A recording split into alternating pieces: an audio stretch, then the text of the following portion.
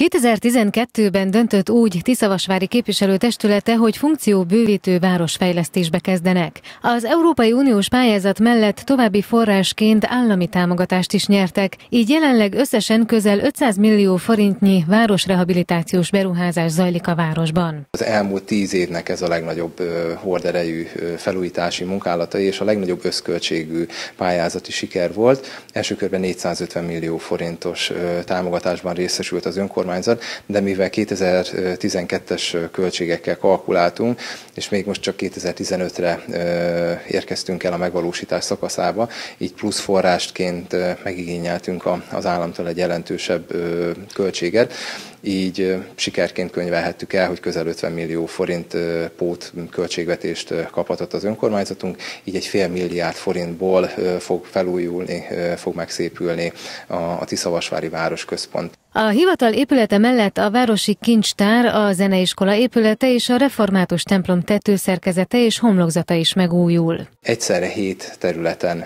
történik építési jellegű beruházás. A legnagyobb, a legnagyobb egység az a polgármesteri hivatalnak és a járási hivatalnak is otthont adó épületnek a komplet felújítása. Itt külső, belső felújítási munkálatokat fog végrehajtani, illetve hajt már most végre a, a, a beruházó, nyilázáró csere, hőszigetelés, akadálymentesítési jellegű beruházásokat végzünk el, és természetesen minden ilyen területen az energetikai hatékonyságnak a növelésére is nagy gondot fordítottunk. Az energiahatékonysági korszerűsítéseknek köszönhetően a Tiszavasvári önkormányzat a jövőben jelentős fenntartási költségeket spórolhat meg, továbbá a helyiek is örülnek a látványos beruházásoknak. Szerintem az nagyon jó, hogy felújítják a régi épületeket, nem nagyon illenek már a, hogy mondjam, a mai világba bele ezek a régi épületek.